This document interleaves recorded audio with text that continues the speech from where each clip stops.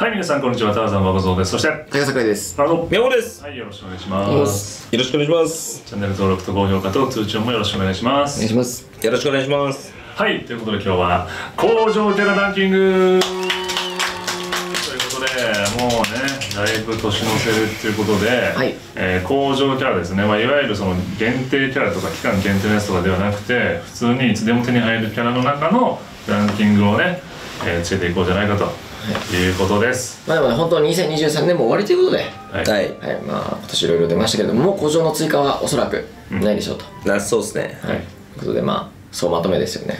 うん。はい。はい。じゃあ、手が桜井から。はい。トップ5、第5位ですね。ルイス・キャロル。はい。これはルイス・キャロル第5位とさせていただきました。前回4位だったんですけど、あ、はい。変わっている。まあなんで第5位に、おえーまあ、ちょっとねランクダウンしてしまったんですけどまだまだ全然強いと思います、はい、えー、8ターン弱点露出しかもなんか2ターン継続だしえー、さらに購読メテオも持っているということでしかもねなんかもうすごいいいんですよ。ほんと使い勝手が。はい、えー、まだまだ現役で使わせていただいております。しかも可愛い。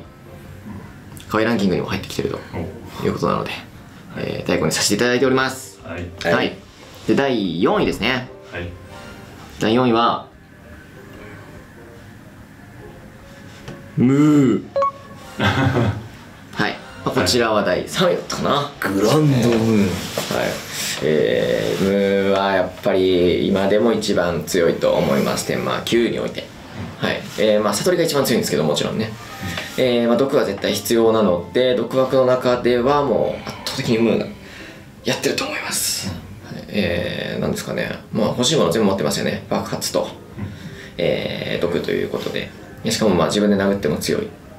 もうひよこでも別にいいみたいな、えー強さをしていると思います。まああるある意味必須パーツの一つなんじゃないですかね。最近だとあのコニッシュだっけ？ああ、フィニッシュはい。はい。えー俺は扱ってますね、うんコニッシュでダッキの毒キラー乗せるために、うんうん。おー。はい。使ってますね、はい。はいなんで結構あのー毒枠としてやっぱり一番うん。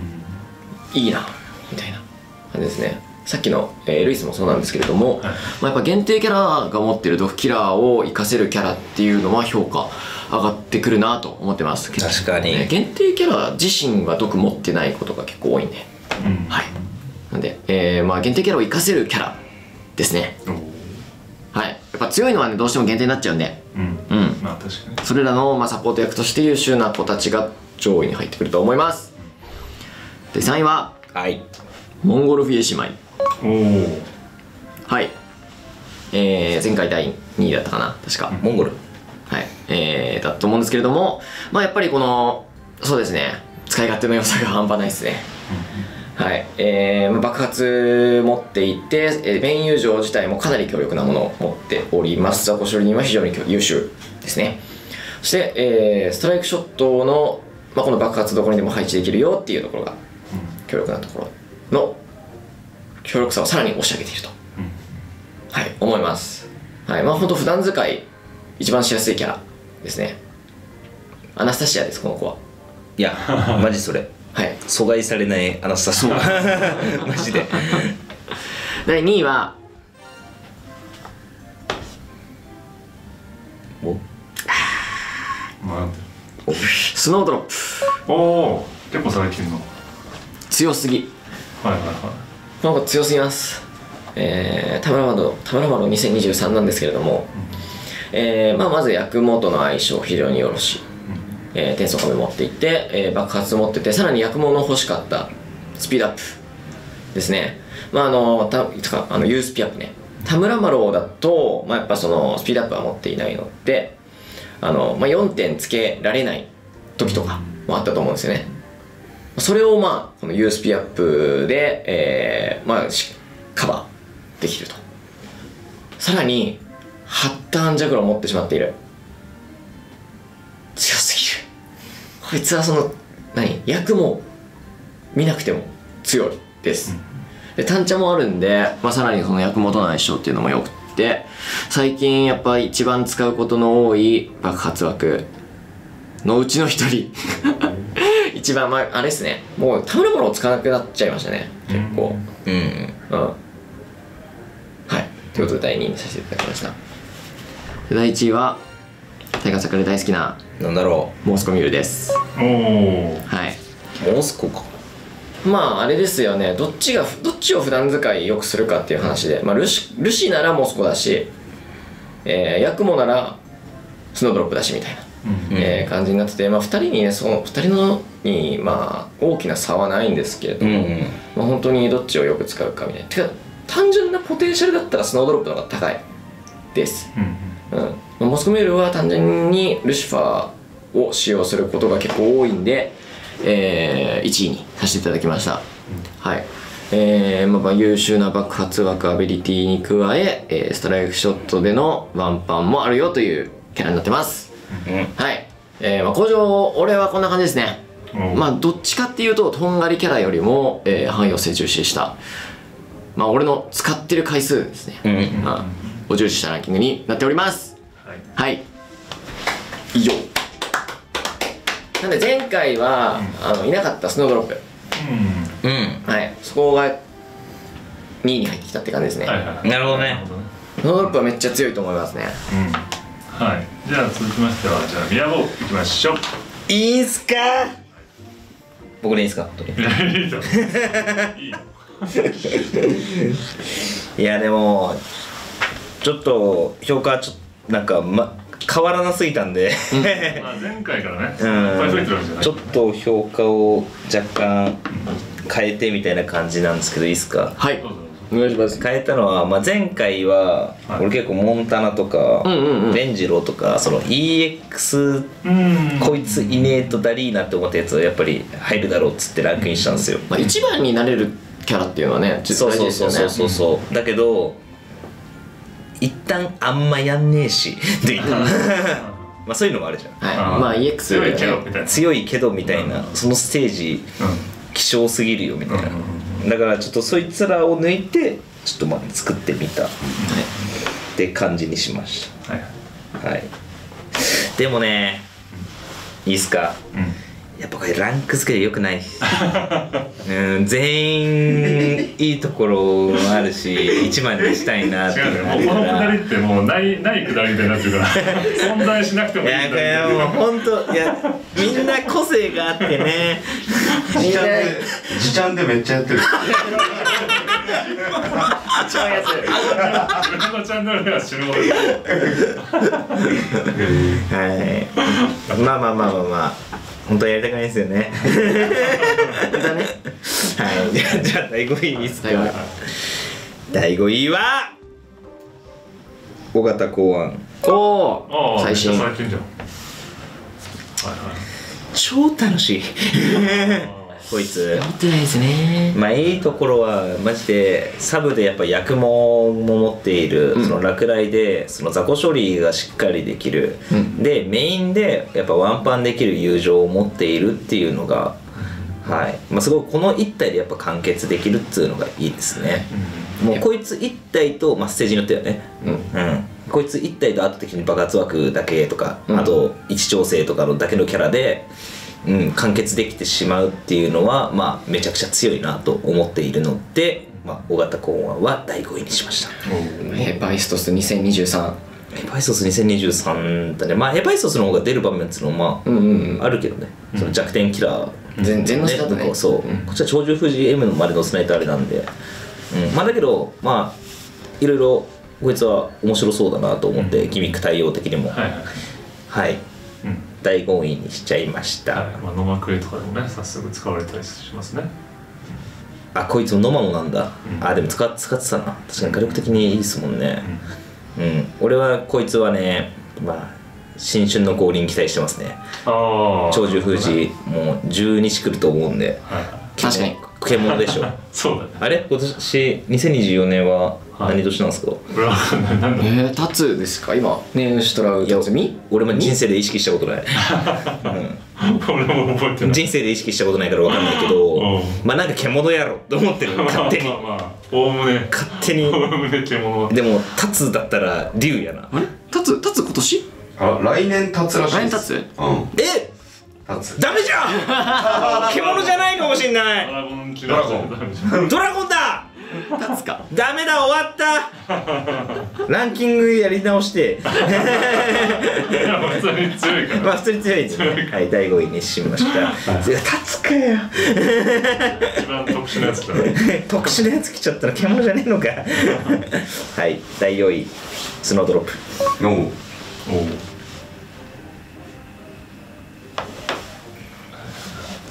探せ ないだいぶ最近だろこいつは太ももがエロすぎる。いくらないくらなんでも。いくらなんでも太ももがエロすぎる。これ良くないっすね。はい。でまあタイガー桜井も言ってたんですけど、まあ太もも以外にもいいとこあります。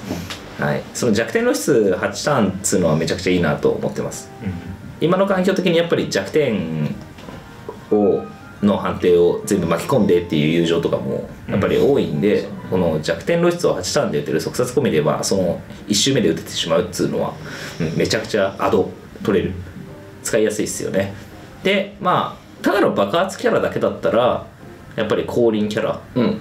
でいいんですけどやっぱり USP アップ、うん、これを持っているということでまあ別に友情以外のステージでも結構作れてきやすいなっていう、うん、っていうのもありまして、まあ、スノードロップは第4位にしました、うん、なんか現代の爆発枠って感じ、うんうんあこれだったらガチャゲンだなっていう感じ。ね全部持ってるよね。そう。めちゃくちゃいいキャラだと思いますスノードロップ。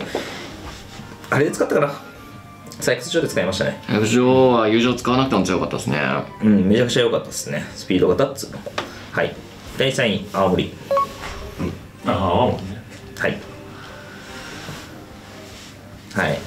まあこれもから言ってたんですけど、マジで今、毒が工場ではめちゃくちゃいいと思います。うん。なぜかというと、やっぱ毒キャラ持ちのね、限定キャラたちが無双してる環境、まあ属性的にも、うん、でありますので、まあ、このすげえ使いやすい毒キャラ。で自身もまあ結構便利にサポートしてくれたりとか、まあ、こいつはね反射貫通になれたりとか、うん、キラーまで刺さってしまえばしっかりそのまあ限定並みの火力も出るということなのではい第3位は青森にさせていただきました、はい、まあ、ここからは分かんないんではい第2位テセウス。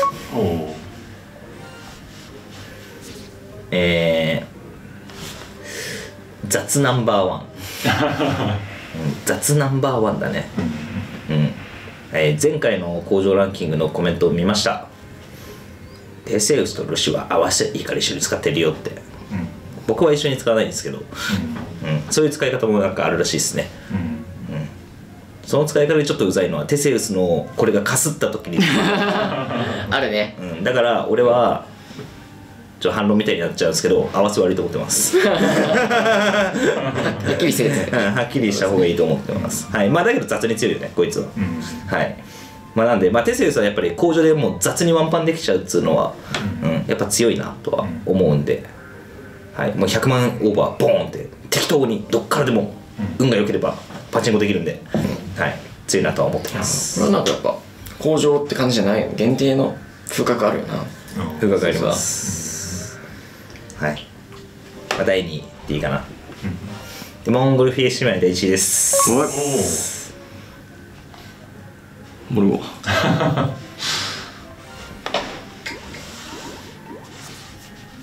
マジアナスタシャス。こいつ。なんでまあ自分自身も、うん、めちゃくちゃ強い。でまあ阻害ギミックがない、うん、で爆発誘発が便利、まあ、逆にまあその最近はガチャゲーがめちゃくちゃ強いんでそのもう爆発だけでいいやってパターンが多いんでそこまで出番は多くはないんですけどやっぱ工場キャラのスペックを見た時にやっぱステータスはじめこの SS でね面白いこともできるというのを込みでまあ好みもだいぶ入ってるんですけどモンゴルフィエ姉妹は1位でもいい風格なんじゃないかなと思ってます。マジで使いやすいっすこいつは。癖ない。うん。で使って楽しいかな、個人的に今っていう感じなんで。1にしちゃいました、まあ、これこの123ちょっと前回と変わんないです。個人的には、はい、その代わり4位5位になんか新しいメンツたちが入ったっていう感じですね。はい。ということで。じゃあ最後私がじゃあ紹介しますかね。ちょっとね。じゃあ第5位。今回はアーサおお、はい。粘り強い。ーということで、まあ、粘り強くね入れましたけども。そっちか。はい ちょちょあのーはいあのーどうしてもいいですけど2種類ありますから MV とね。はい。えー、まあやっぱりねあの最近結構俺の周りもなんか始めてる人とかいたりしてはい。っていう時にやっぱりその限定キャラがやっぱ強いじゃない？うんうんうん。うん。最強っす。そう。だけどやっぱりアーサーは限定キャラじゃないわけよ。うんうん、その強みがやっぱあるなと。まあいつでも引きに引きにいけるわけじゃん、うん。いわば。出てくる可能性があるというキャラで。でこんだけやっぱ汎用性があってかつその2023年においてもそのまあ絶級のねあの適性をもらっているということで、はい。まあ、今回はまあなんかやっぱりその一定までいくとね、まあ、なかなかアーサーって使わなくなってくるキャラなのかもしれないけど、うんうんなんか結果なんかモンストを支えてるのはアーサーだなって思ったのよまあ、俺らみたいなのは結局全部持ってるから使わないけどっていう話ですよね。そうそうそうそう。全部持ってたらマジ使わないです、うん。だから例えばまあ今だったら多分ルシファー持ってたらもう結構もうそれで終わっちゃったりするじゃん、うんうん。でももうそれがないってなった時はやっぱりアーサーとかがやっぱ強いんだなって思っうん。たうん。ということで今回はアーサーね。あさはい第第五位。えー5位ということになりました。続きまして、えー第4位。第4位はえー田村麻呂さん。おお、はい。マロまああのスノードロップさんもね、うん。まあ、最近いますけども、まあ、俺はちょっとまあアビリティ的な部分でちょっとまあ田村麻呂さんは意外とまだ使ったかなっていうところで。うん。ヤクモトがね完全に一緒ですからね。そうそう。っていうので田村麻呂さんをインいたしました。まあやっぱりそのヤクモが、まあ、今年はね、えーまあ、暴れで倒しておりましたから、まあ、その点でまあ田村麻呂さん一体いればまあねあの埋めれるんでねそのヤクモいっぱい持ってなくても。実質ヤクモそうっていうのもできるしそういうのでまあ俺は結構比較的、まあ、割とすぐ手に入ったんで、はい、田村丸さんを第4位ということで、まあ、サポート性能ですよねやっぱり主に。はいということで第4位にさせていただきました。ありがとうございます。オラブツで第3位。第3位はバモンタナ、はい、おおおめでとうございます。タナモンまあやっぱり伸び。前からのね。ために貯めたこの伸びしろの部分。ここれからのね。そうそうそう。これからの伸びね。うん、でまあやっぱクエストはちょっとねあのそんなにやるクエストじゃないと思うけどもね、はい。まあ、そこでまあ風格出してるっていうのはやっぱりあの工場キャラの中ではねかなりいいんじゃないかということで。まあ火力感しかり。まあ持ってた人も多かったろうしね、うん、っていう意味で、はい、モンタナ大活躍できるクエストついに登場ということで、まあ、ついに登場というか、まあ、モンタナがそこにはまあ合わせた感じだけど。はい、えーということで第3位の、えーポテンシャル評価したいと思います。おめでとうございます。モンタナって今引こうと思ったら何引くの？あどうなんだろうね。確かにね。どうどうやってモンタナを狙いに行くんだろうね。たまにモンゴルとかでピックアップされるんじゃなんかされてた？なんかでもされてそう。されてたないなんか出てばっかの時は多分されてたね。うん、うん。まあそれがやっぱもうなんかそのうち出る出るべみたいな。そのシルベ感じなのかいやなわかんない。でもなんかでも絶対あれやるんだったらねモンタナないと。ね。モンタナって結構欲しい人多そうだけどねそうそうそう実は。だからあるんじゃないの？わかんない。うんそれやっぱもうこれ。これですかねうん。なってそうな気がする。じゃないと今だ？からこそ欲しい欲しい人多そうだよなってる気がする全然。そうそんなだって不可思議ナンバーワンキャラでしょこいつ。そうそうそう。普通に。はい。まあそうそういうところをやる人も持ってるのかもしれないけどわかんないけど。はい。ということで第3位モンタナということで。で第2位テセウス。はい。ということで。テテウぱスりまあテセウスは、まあ、さっきの話でそのやっぱりルシファーとも合わせられるし、まあ、やっぱり書庫とかやる機会もなんかあんのかなって割とうん思って、そうそうそう。まあなんでテセウスいると、まあ、シャイニングピラーのワンチャン狙いつつまあ貫通だしね。爆発だしみたいな感じで使いやすいのかなというところで第2位にさせていただきました。マジ長いねですよですね。1年。うん一年一年。マジすごいわ。で一年だね。そうだはいですね使いやすいキャラで汎用性汎用性っていうかなんかまあ一定のクエストをもうこれだけでもう吹っ飛ばしてくれるっていうのはありがたいですね。はい。ということで第2位はテセウスですね。で第1位はマスカビュール。モスコ。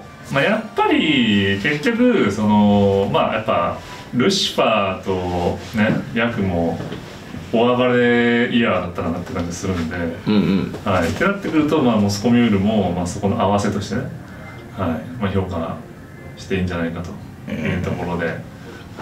まあ、モスコミュール、まあ、最近ほらなんかそのあったじゃん。なんかその各属性から選べるあやつみたいなのあったじゃん、はいはいはああいうのとかでも選んでる人とかもまあいるんじゃないかっていうぐらいはいいたと思うん、使われるキャラだったんじゃないかなと思いますね。やっぱルシファーがよりをを引き立ててくれるよね。そのまあ。う複数済みした時は。そうそうそうそう、うん。って感じがするんで。まあちょっと使い方もなんていうかね。こうね一回り使いやすくなる感じがするしルシファーは、おもろいっすねうん。キャラ。っていうキャラがこいつの信用風 GL って何なの？いやこいつの新音フジエールは分かんないって作った人が言ってた。本当にちゃんと強いのついてるよなって思っクレイが言ってた。分かんないわかんない。わかんない。わかんないのに EL つけんなよ。作るあれじゃねえわかんないでつくんであれじゃないんだよね。三米だぞって。まあでもこれ持ってればなんかどっかで使えんだろうみたいな。なんかで何かを目的としてるわけじゃないらしい。あそうなの？なんうん。でもギミック的になんかもしかしたら殴りキャラねなる。になるかもしれないですんないで EL もらっちゃってんだもん。うんはい。じゃあまだあそうなのまだ未来あんの？かんない。せーみたいな何年生もそこにないなんだろうね面白いね。はい。ということで第一問そこ見ると。はい。いうことになりました。はい。以上でございます。いやい。やー。揃いましたね。どう？なんか俺らの中で人気あるやつは何？まあでもテセウスは雰囲気2人高いですし。でも俺使ってないっす。テセウス時代は。まあそのうん。そう。総合的にね。ななんか工場でバッて見た時にあでも工場で見た中でやっぱり強いな秀でたものあるなっていう感じだったな。まあ、あとは結局爆発の子と毒の子うんうん。は人気だしうんやっぱそうだよね。工場ってなっちゃうと。難しいよな。難しいですね。なんかうーん。なんかそう新この受信化回とかさもう結構ちらほらね強いの出てるんですけどね。うん。でもなんかそのなんだろうね。工場難しいや。うん。最近あとローレライとか。俺使いやすいっすねこいつはマジでこのブロック魔法陣これ偉いんだよ友情友情キャラとして。キャラにはね、な、うん。まあ、ただやっぱりでもこいつのマジでうん。友情以外の 捨ててる。捨ててるもう捨ててる感じがなんかうん。ね、そうなんか。捨ててるのにこれかって感じ。ぶっちゃけね。驚きがね。驚きがなかったねあんまりそう。ねなんか捨ててんならもっともらってよくねって思っちゃったかなだって SS がまるっきり打つところないじゃないですか、うんだから俺はぶっちゃけロールライもうちょい頑張ってほしかったなっていう印象強いけど。ね昔のね。爆裂ホーミングになってほしかったですね。あー とかもう、うん。超絶関東オーミング18とかこいつかなとか思ってた。かったですね。ねまあわかんない、まあそれは、ね、強いけどローレライとしてはちょっと、そうそうそうそうそう、俺の印象的にはね。まあ、ローレライはね。もう神化も重心化もやばかったですからね。うんよ欲張りなのかな俺がちょっと欲張りかもしれないまあです優勝強いやつが多くなっちゃったからね。で最近で言うと悟空は頑張ったな。って僕僕頑張ったね。強くね、うん強い。こいつ。深淵適正ねコスピアップ爆発ってうん。バイタルが一段階上がって。うん。すごいよなこいつは。最近強いんだよねどこもね。受信が返するやつは、うんさっきしたサラスもね言うて強いしよかったあなあ真田真田も結構強いですよね最近。その全新然重心化ですけど。うん。ね。いろいろキラーのあれとかが変わったりして、うん。だからね、まあ、強いキャラはいるんだよな。そう。いるからね、そうヒヤシンスとかめっちゃ迷ったね。ああはいはいはい。俺こいつ結構好きなんだよ。エクス友達そう友情フィールドがやばい友情だと思ってるから、うんうんうんはいはいはいい。いね。2体目やしでもベジそうでもベジ強えなって思っちゃう 逆にね。そう。際立つ。ベジの方が使うな。あヒエシスの4曲だったらまた話変わってるかもしれあそうそうそうそう。いやちょっとなんかねそういう相対的な評価とかも入ってうん。ね評価難しいなっていう感じだったからいやムーとかも俺も入れちょっと入れたかったの タイガーさんが入れてたけど、はいでムー使うもん、そう。まあちょっと難しかったな。これに関しては、そうだねはい。何気に全員が入れたっていうキャラがいなかった。うんうんうんうん。確かに。いないかも。二人かぶり。だねそうだね最高でもそうう、ん。高校で9体ぐらい出てますもん。うん。9体しても大変だった。はい。ということでね。いや今年もいいキャラ多かったですね。うん、はい。今年はもうちょいね。うん。まあ追加あるでしょうけどあの重心化とか重心化会とかね、うんうんうん。まあどうなることやら。なるほどうん。そこでまあまくってくるか。すげえの来たらちょっとあれですけど、ん。っていうことですね。ハンターキングとか。新女子があそうねそうね。まあ4ターン4ターン壁の4ターンカメラある。あないな。最強すぎるななんか。というわけで、以上ですかね。はい。はい。ということで以上になります。え我々のメンバーシップもやっておりますのでそちらもぜひチェックしてみてください。ということでご視聴ありがとうございました。それでは次回お会いしましょう。バイバイ